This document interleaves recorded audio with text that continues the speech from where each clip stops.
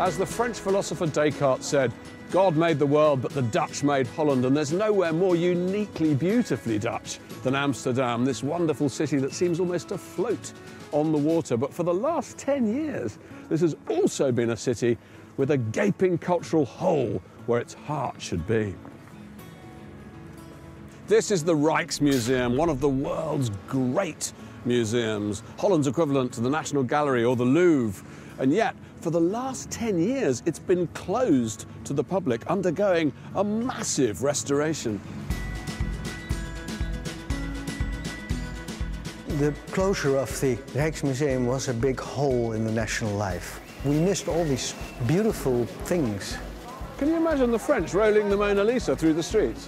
Only in Holland would this happen. I consider the Rijksmuseum the nucleus, or the, more or less the egg uh, we crawled out. There are very few countries where the National Museum has been entirely rethought, reinvented. It really is amazing. Everybody's very excited in having it open again. The national treasures of the Dutch people are inside this museum. Wow. it's just unbelievable. For over a decade, people all over the museum world, but above all, the Dutch people have been waiting, waiting, waiting, but now the wait is over. So join me on a journey to rediscover the treasures of a great nation.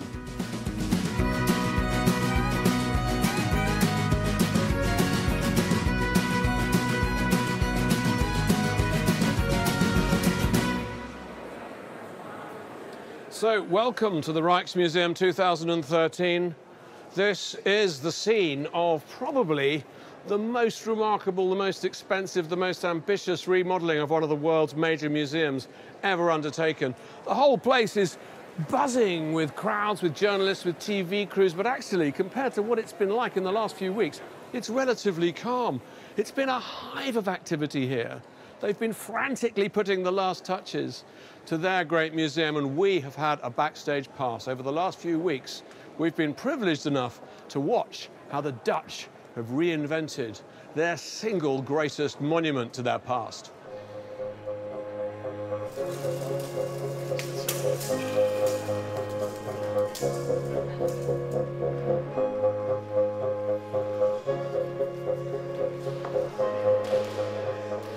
It's all happening. Paintings are arriving in crates, they're coming out of their boxes, they're going up on the walls. The whole place is buzzing with machinery. Which painting is this? Love letters. That's Vermeer's love letter. Yeah. I can't believe it. so there's a Vermeer under there. Yes. And you're not shaking. A little bit. Yeah. Take a painting and I put it on the wall. You're going to do that now? Yeah. Uh, um, second. Thank you. That is, I can't, this is one of the great paintings in the world. The gentleman behind the cameraman, he doesn't want to be on TV. He doesn't like being on TV, but he has agreed to be on TV to hang the picture. So that's, we really appreciate that. Oh,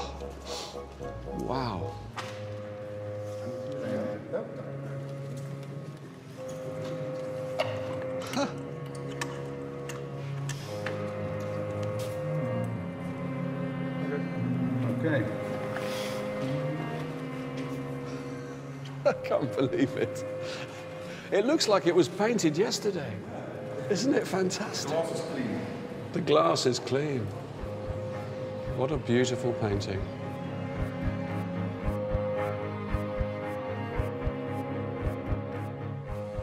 Now, the Rijksmuseum's collections are jaw-droppingly rich and varied. There are treasures from Asia and the Far East. There are masterpieces of painting like this, Monet, or over here, a wonderfully piercing self-portrait by none other than Vincent van Gogh. But this is also a museum with a single overriding mission, to tell the story of the Dutch past, to bring Holland to life.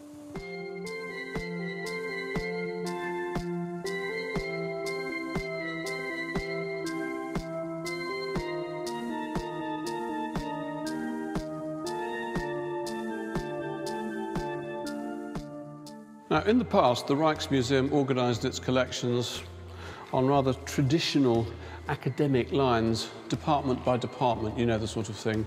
Over here we've got glass, over there we've got silver. A gallery 3 is for ceramics, galleries 22 to 9 for painting. But they've done away with all of that now, and in a very bold, daring, and highly effective way, what they've done is they've brought all of the arts together and involved them in this great chronological sweep through history and it's quite some achievement. 80 galleries, 8,000 objects, and 800 years of history. So you really do need more than an hour or two to get to know this place.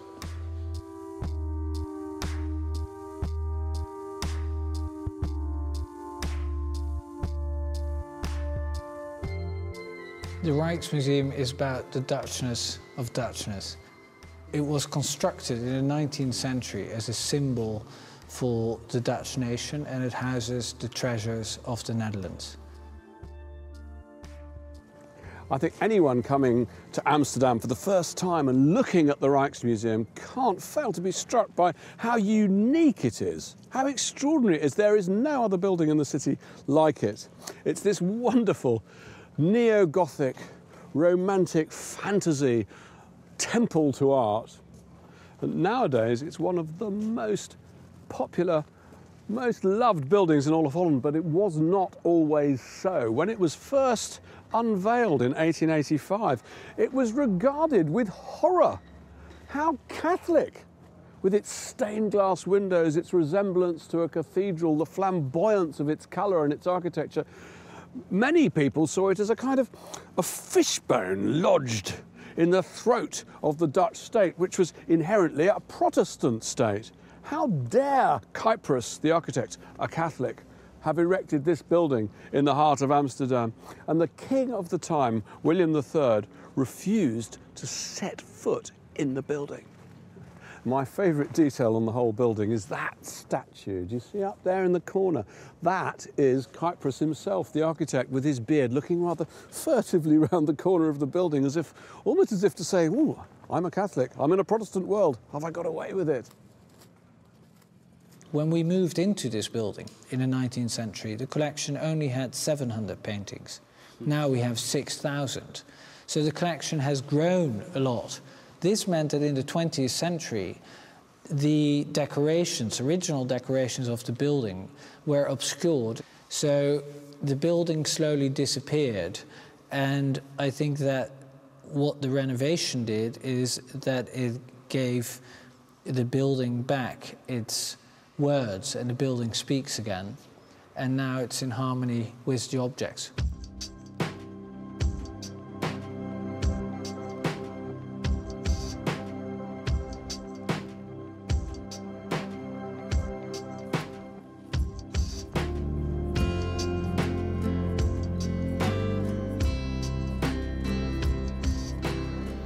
Now, I remember coming to the Rijksmuseum 20 years ago, and believe me, the transformation is truly mind boggling. Look at this great central courtyard full of light, space, a sense of air. Where I'm standing used to be underwater.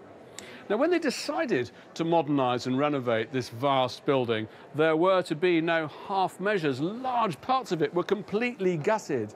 In the beginning, the process was supposed to take three years, long enough, you might think. In the end, it's taken them 10 years to complete, which gives you some idea of the many obstacles they had to overcome. The sympathetic new design is as elegantly minimal as Cuypers' original was extravagant, and the delicate task of resurrecting the museum was undertaken by Spanish architects Cruz Ortiz. Being asked to design the new Rijksmuseum, it's not quite like being asked to walk on water, but you've certainly been asked to build on water. Mm -hmm. Last time I was here, there was a canal down there. Yeah. What have you done with it? It was not the, it was the sea. Actually, it was not a canal. Yeah, when you dig more than one and a half meter in Amsterdam, you are under the level of the sea. So actually, you have all the water uh, pouring up. And now this building has risen. Yes. Almost sort of from the ashes of its former self. Yeah. It strikes me that you've been very sensitive to the original architecture. This building it's a perfect example of the interest of the architecture at the end of the 19th century. When doing this kind of task, you pay uh, tribute, let's say that way, to the system building. Now, the whole project was scheduled for completion in 2008. So, what caused this immense delay? Was it some astonishing aquatic engineering problem, some logistical issue? No, it was a uniquely Dutch issue. I think the biggest problem was the bicycle tunnel. You're kidding me. heard of it. The bicycle tunnel was the. Yes. Ma- well, how, put me in the well, picture. the, the, when they decided to re- uh, renovate this museum, they also wanted to modernize it. And they created a new space in the middle of the museum. So they closed down the bicycle tunnel. And that would have been the central entrance. Now, this central passageway, it's known as the city's gateway, runs right through the centre of the Rijksmuseum, connecting the outskirts of the city to the centre. And before the renovations began, it was used by more than 13,000 cyclists a day. So when the architects responsible for the revamping suggested it be transformed, split into two levels, there was mass revolt. Holland's cycling lobby, hugely powerful here, fell over their handlebars in disgust. They staged demonstrations, sit ins. They forced a major re evaluation of the whole architectural transformation of the museum.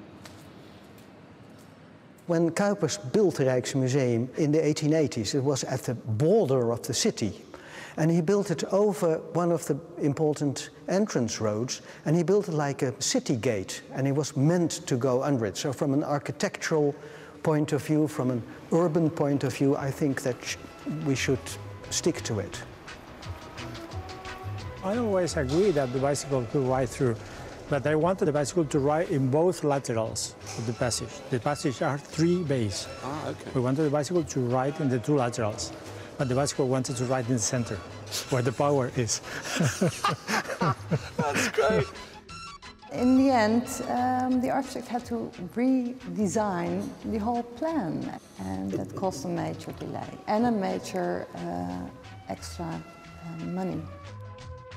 The protests over the bike passage added years to the project, and the passions raised show the peculiar nature of the Dutch attitude to this museum. It's theirs, their national space. What does the Rijksmuseum mean to the people of Amsterdam, to the people of Holland? What does it mean to you? The treasures of the country are held here. This is the main museum, it's the mother of all museums. And I like that. So this is the mother, Yeah. the mother of the Netherlands. yeah. We should consider it as our own national identity and uh, the basis where we come from. If we consider this a museum for foreign people or for once every 10 years to visit, we will lose our identity definitely. We're facing times where we look for our identity. Well, it's here and it was locked. We lost our concept of what it is to be Dutch, what our, where our cultural identity derives from. We lost it all. And we have to be proud of our Dutch culture. If we understand where we came from, if we go to the Rijksmuseum, look thoroughly what was our basis, where, where did Vermeer come from, Rembrandt, etc., Mondrian. Especially now, we needed our art. I think it's just fantastic. But what do you think? It really is amazing. It's, it's hung very beautiful with the colors on the wall, on the places where they re renovated the original details. It's been very, well, amazing. The starry sky. Did you see the star, starry sky from? Uh, Yes, right? yes, yes, yes. It's dazzling. All the way from Glasgow. Yeah. That's our contribution.